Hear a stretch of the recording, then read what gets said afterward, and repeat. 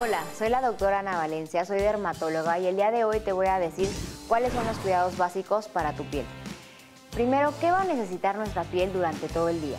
El número uno siempre es el aseo diario, que debes de realizarlo en la mañana y en la noche. Con un jabón neutro está bien, aunque también si tienes la piel grasa, seca o muy sensible, existen dermalimpiadores específicos para tu tipo de piel. Es muy importante siempre retirar el maquillaje, específicamente si utilizamos maquillajes de larga duración. El paso número 2 es el aplicar la crema hidratante, que debe ser una crema hidratante para el cuerpo y otra para la cara.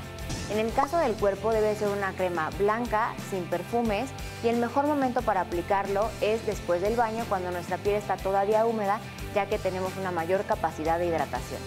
En el, en el caso de la cara hay diferentes tipos de cremas, geles, sueros, entonces depende del tipo de piel que tengas, es el que debes utilizar. Por ejemplo, si tienes una piel grasa hay que utilizar geles, si tienes una piel seca hay que utilizar cremas.